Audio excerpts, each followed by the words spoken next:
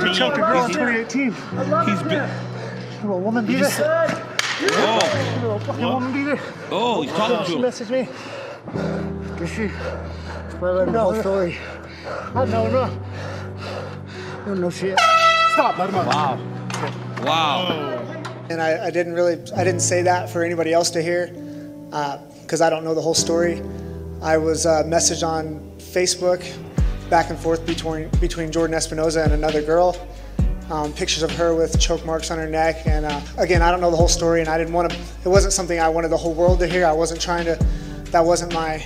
That was supposed to be between him and I. Uh, it was kind of disturbing the whole thing. Um, I have a daughter, so. Uh, this was the only fight that's, that I've had out of all my fights that was personal.